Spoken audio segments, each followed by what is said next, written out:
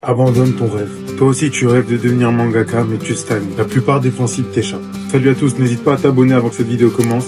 Aujourd'hui on va voir comment faire un bon découpage de manière très vague et globale. Avant toute chose, le but du découpage c'est surtout que l'idée passe. Donc avant de commencer ta page, tu vas demander qu'est-ce que je veux que le lecteur apprenne avec cette page. Qu'est-ce que je veux que le lecteur ressente avec cette page. Une fois que tu en as fait ta priorité, tu places les bulles. Tu peux te faire une idée globale dans ta tête de si tu voudrais une grande case pour tel ou tel événement, mais avant même de placer les cases, il faut que tu places les bulles pour avoir un sens de lecture fluide.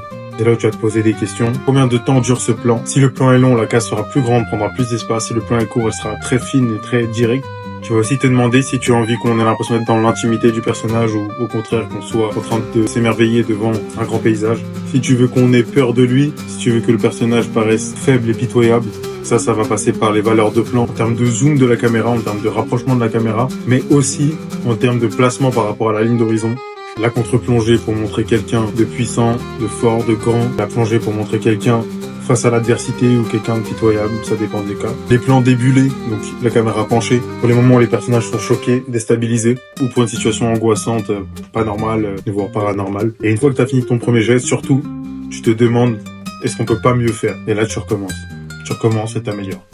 Tu te demandes, oui, est-ce que cette case-là, on ressent vraiment? Tu peux demander, d'ailleurs, aux gens à côté. Une fois que tu as une dizaine de pages, tu vas les montrer à quelqu'un. Qu'est-ce que tu as ressenti? Quel moment t'as bien aimé? Quel moment t'as pas trop compris?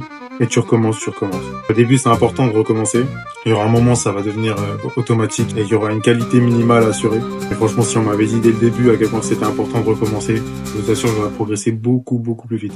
En tout cas, c'est des petites astuces comme ça que j'ai eu avec l'XP. C'est pas la science infuse. J'espère que ça vous sert. Et bien sûr, c'est faux quand je te dis